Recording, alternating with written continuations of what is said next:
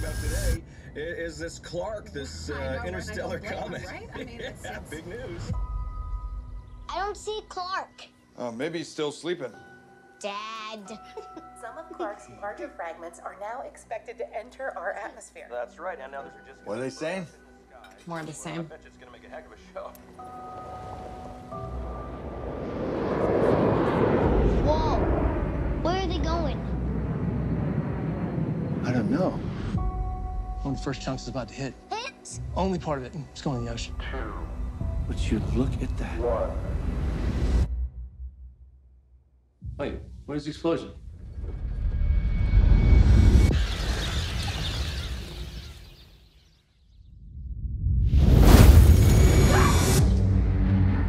We now are getting word that the fragment has hit Central Florida. Oh my god. Wait, are some more pieces gonna hit?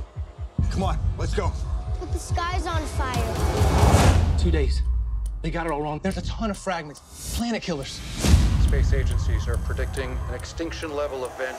We're gonna be together, all right, kiddo? We're just trying to get to safety. They've been tracking the military flights to bunkers in Greenland. It's our only chance. Move back! Perimeter breach. Perimeter breach. Runway 33. Allison! Nathan!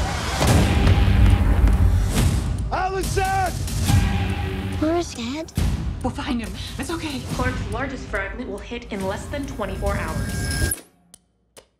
I swear, I'm gonna get my family into that bunker. I know you will, son. If you are hearing this broadcast, seek shelter immediately. What is it? What's going on? If you are hearing this broadcast, seek shelter